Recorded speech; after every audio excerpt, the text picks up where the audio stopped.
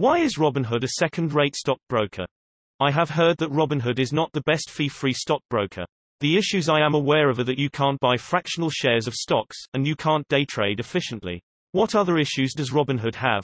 Robinhood had a perceived an edge when they were one of the few brokers that didn't charge commissions. I say perceived edge because they have many deficiencies. Until recently they didn't pay interest on cash balances, they charge more for margin borrowing than other brokers, and they route orders for payment for order flow which can lead to poorer fills.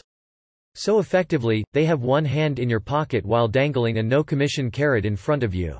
The drawbacks of Robinhood versus a discount broker? Here are many of many things that they lack. Timely data, good customer and tech support, investment education, interest on cash balances, a platform that doesn't lock up, Research, good charting, prompt trade execution reports, low margin rates, portfolio margin, good option analytics, maker, taker rebates. Given that most of these services are available at major brokers who are now commission-free, it makes no sense to trade at Robinhood. If you're a serious investor who needs better services and more than a stripped-down platform, you should be trading elsewhere.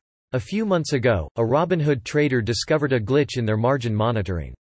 He used $3,000 to buy more than $1.7 million in shares of advanced micro devices while selling about $1.6 million in calls. IMO, Robinhood is a Mickey Mouse operation.